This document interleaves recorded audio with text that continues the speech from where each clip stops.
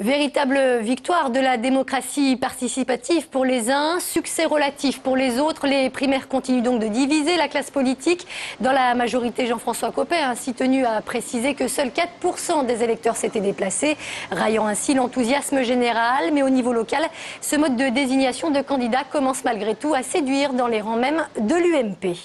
C'est un système intéressant quand euh, le parti politique en question n'arrive pas à désigner son candidat.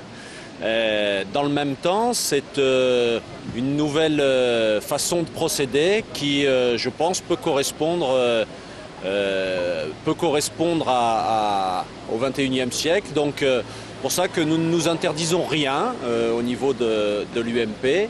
et nous ne nous interdisons pas sur l'avenir d'utiliser le même type de procédure avec des modalités sans doute un peu différentes.